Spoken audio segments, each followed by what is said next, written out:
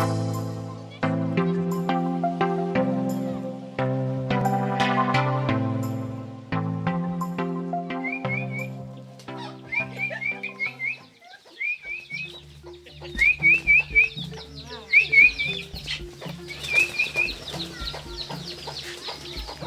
name is Sisa John Robert. My school is Teso Boarding Primary School, and right now we are in holidays. In the morning, we wake up and we go to the garden. After that, we come back home. After I go and eat mangoes, because at home there is no one who can prepare for us tea. So our our breakfast is is mangoes, and after that, I come and sweep our compound and feed my pigeons. I am happy because of this organization. It has changed me. Now, I'm, uh, now, I'm, now, in, now in school, I can do well, and I'm happy because of that. May God bless you. We are at Isa John Roberts' home in Kumi. Isa is one of our child sponsored by Madi and is supported by John and Mary. We want to thank Madi and thank the sponsors for helping us change these children.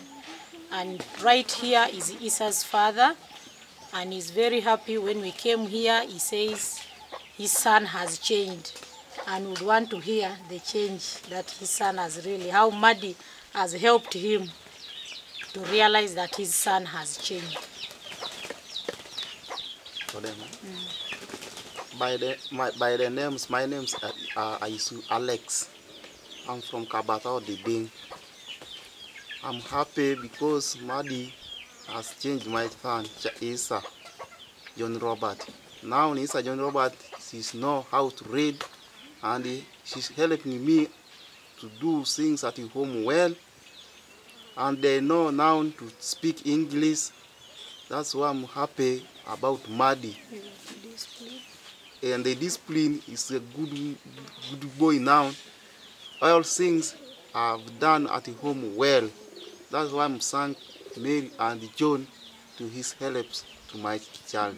I'm sponsored by Madi, and I want to thank my sponsors, John and Mary. May God, may God bless your hands.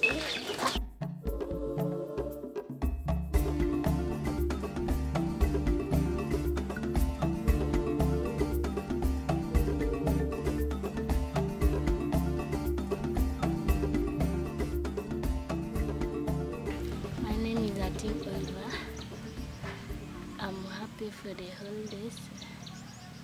I have come back home. I like the way I am now at home. I'm now in school and I'm happy for the for the support you've given me.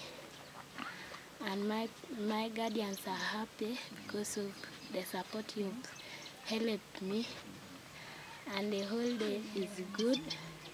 We like enjoying mangoes, cassava, potatoes, everything.